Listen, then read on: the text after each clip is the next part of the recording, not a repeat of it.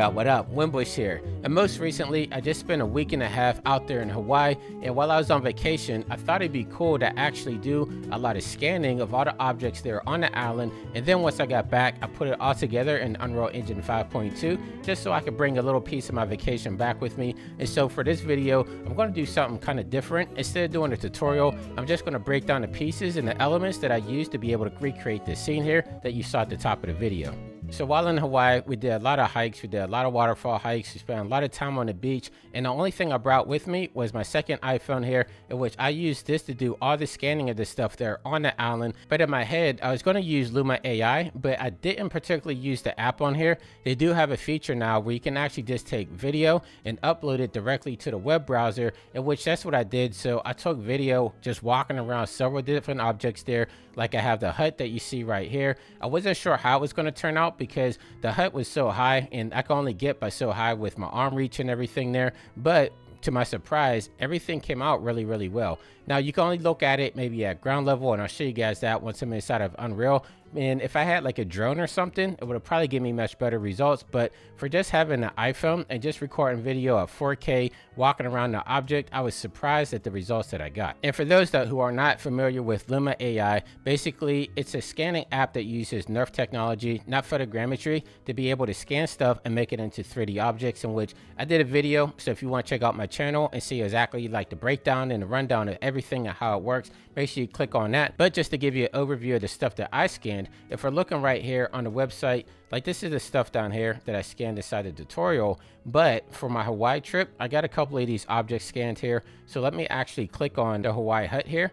And once you do, this is just the actual video playback that you see here inside of the viewport. But if I come down here in the lower right hand corner, click on this cube, this is actually going to show us a compressed version of the 3D scan that we're going to get. So now if I drag around, you can see more of a complete view of everything that it was able to scan there, which I was really impressed because this was out in the middle of the jungle. Yeah, it's a village and it's an old time village. So you see the plaque there kind of describing everything that was going on, which I couldn't get out of the scene. Of course, I had to scan that. But just being able to walk around this and not actually have a drone to actually fully go around it, I was really surprised that it was able to pull everything out.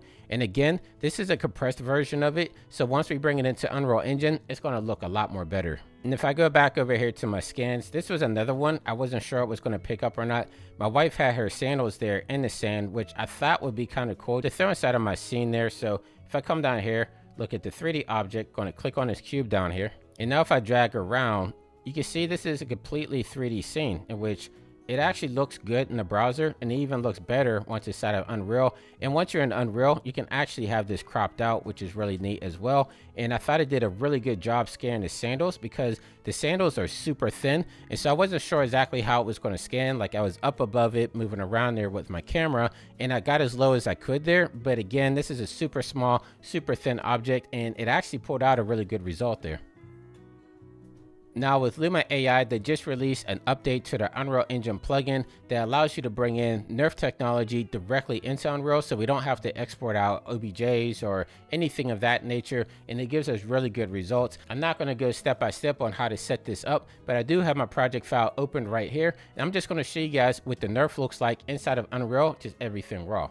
So down here in my content browser, if I look down here, you can see it all separates so it has luma and this is going to be the height. And if i double click on the blueprint this is going to give us a couple of different options there. And so we actually have baked lighting in which everything in the scene is going to be baked. But if i come over here to dynamic this is what we're going to use if we want to be able to have our lighting and our scene affect our object in which i'm just going to left click and drag it into my scene here.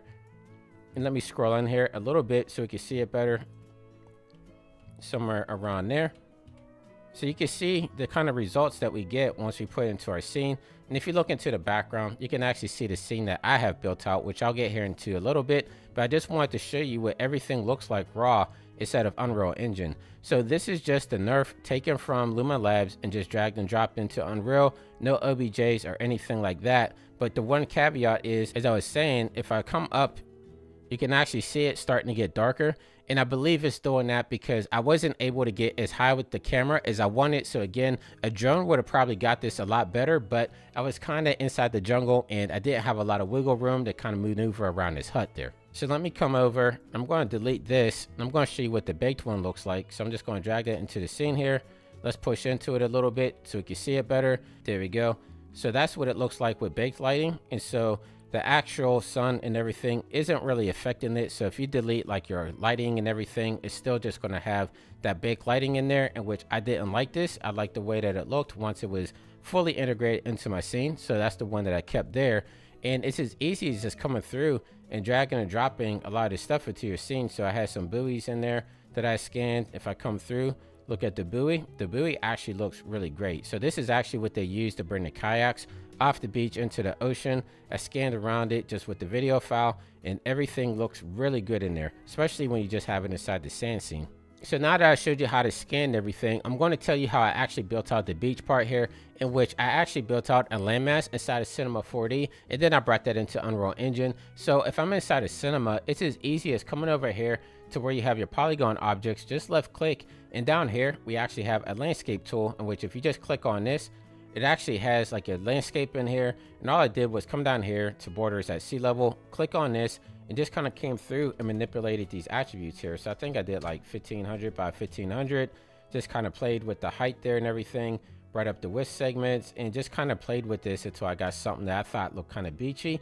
And then once I was done from here I just went through come over to file and then exported out as an FBX now we could have used the Cineware plugin, but for something simple like this, I'm only exporting out geometry, so I thought an FBX would suffice for my needs here, and I was able to bring it into Unreal Engine, and then I was able to add the sand on top of it.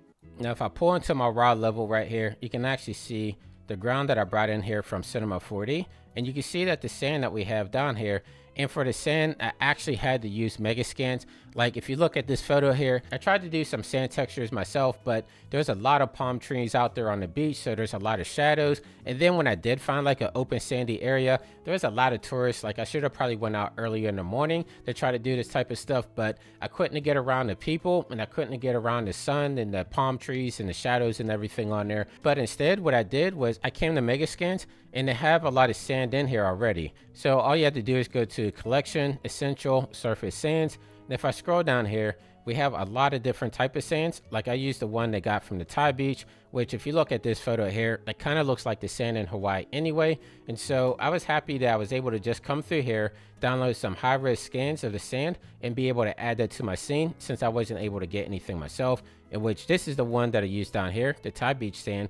So if I left click on this one, you can see this is the sand that I used, which I thought really resembled the sand in Hawaii on the North Shore where I was at. So again, if I look back here in Unreal Engine, this is the sand on top of the land that I built there inside of Cinema 4D.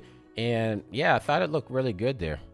Now, when it came to all the different foliage and the elements of the sort, again, I couldn't scan that type of stuff because everything was moving. It was really windy out there in Hawaii. So I had to go to the marketplace. And again, as I was telling everybody, this is where it becomes really handy because I got this jungle asset here and I actually had it free because this is one of the packs that they actually had for free during one of the months. I'm not sure which month it was made free, but this is a really good pack here if you want to get any type of jungle elements and a lot of these different foliages and ferns and palm trees and all the different sorts are the same exact ones they have there in Hawaii. So I was able to use these to supplement that I wasn't able to get the foliage myself. But again, I would say for anybody, especially if you're new to Unreal Engine, make sure you get those free packs at the first week of every month there on the marketplace because you never know when you might need something there. In my case, this actually worked out perfect. So if I'm back in here instead of Unreal Engine, you can see all the different trees that I used here inside of my scene to give it that nice lighting effect there, especially on a hut. The trees are all moving by default. Same thing with the ferns, same thing with the grass. And I was able to just use the foliage tool and paint these on here, which really came in handy there. So I was even able to have some vines there hanging from the different trees and everything that really enhanced the project. Now that I have everything that I need to completely build out this scene, I just basically played it like it's Legos, just putting everything there on the landmass using the foliage tool and just placing all my different objects in there and then comes to the camera work. So once I was have everything in there and I was happy with it, these are the different camera moves that I have because once I have my scene built out, Basically, I just wanted to make like these little vignettes that I could have cut together all inside of Unreal Engine. You can see that it has this bobble movement in which I just use this camera blueprint in there that would allow me to do the head bob. So if you guys want to see how to build that, let me know in the comments down below. I'll be happy to do a tutorial on it. But if you look inside the viewport, you can see that it's slowly looking like it's walking towards the hut. And I just did four different shots like this. So if I come over to my other shot, let's open up this sequence here, look through this camera click play. You can see I have a macro shot here, just looking at the buoy that's right there. I wanted to really emphasize that there. And this water actually came with that jungle pack there as well. So I thought that enhanced it a lot as well, as we have the reflections and the shadows and all the different glints hitting off the water there, which I thought looked really nice. If I come over here to shot three, let's look at this one, open up the sequence, look through camera, you can just see I have the camera coming from the backside. I wanted to show the sandals in there a little bit. This log that I scanned there on the beach. And this is actually one of the kayaks that I helped push into the ocean. There's a group of women that were out there that were kayaking. So I got to scan their kayak and I got to scan the buoys and everything in there. And then once I was done adding all these different shots together, like I said, I only have four inside of Unreal Engine. I made a master sequence in which I was able to edit it all together just like I was in Resolve or something. And I didn't do any cuts or anything in any other programs. I did everything all here inside of Unreal Engine. So if I come down here to my master sequence and let's open this one up. If I scroll this up here a little bit, you can actually see all the different shots that I have in there. So I have four shots in here. And if I come up here to the top, look through this camera, just click play. You can see everything is just playing through and it's going through cut by cut. So you don't have to render out individual shots. We can actually just edit everything here inside of Unreal Engine, which I always thought was really neat and is underutilized. I don't think a lot of people really use this, but it saves you a ton of time because you could do one master render all at once there at the end and you don't have to worry about separating your shots and then doing it in post and like Resolve or Premiere or something of that nature. And then down here at the bottom, you're able to actually add in audio here as well. So I have some audio tracks that are playing in there. You can hear it inside of Unreal. You probably can't hear it now because I have the desktop audio turned off, but that also helps there as well. If you're trying to edit it to the beat, you can add in a wave file, not an MP3. It has to be a wave, but you can add that there inside of your timeline and everything will be good. Now, when it came to lighting, I didn't do anything too crazy in there, just your typical setup there. So if I look inside of my FX folder, you can see I have exponential height fog in here. I have some ambient dust, which this also was included inside the jungle pack. Your post-process volume, I just did all the different coloring and everything in there. And then just your basic light, your skylight and your clouds. And the one thing I will say, if I come over here inside of my post-process volume, if I come down to where we have the different film grading stuff, so let me see right here under color grading, under miscellaneous, I do have a LUT down here. So if I come over and scroll this over a little bit, you can see that I have a LUT that's playing in here. So if I turn this off, you can see it got a lot darker in there. And this is the only thing that I did that really enhanced that shot there. And if you guys are curious what LUT pack I was using, if I go back here to the marketplace, you can see I'm using this one by Amplify.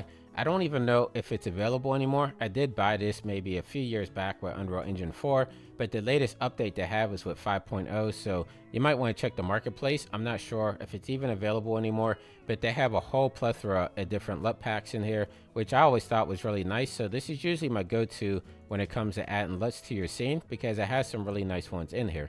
Now I think that's going to do it for the behind the scenes. If there's anything inside the scene that you guys want to know furthermore how I've created this scene out, let me know. But I think I covered everything here plus a lot of techniques that I have used to build this scene out. I'll teach on my YouTube channel, so make sure you get to my YouTube channel, check to see what's there. If you can't find a particular technique, always leave me a comment and I'll try to link you to the video that I think will help suffice and answer your question. So this was a lot of fun to build out. If you guys like different things like this, let me know down in the comments down below because I think as I'm doing a lot of traveling, especially on the tour, I'm going to start scanning in all these different cities around the world that I'm going to be going to. And then I'm going to be putting together a scene with all the scanned objects and just kind of give a trail of everywhere I've been and bring it all together inside of Unreal Engine 5. So if this is something that you're interested in, make sure you subscribe to the channel. And until next time, stay fresh, keep creating, and I'll catch you guys in the next video. I see you again. Aloha.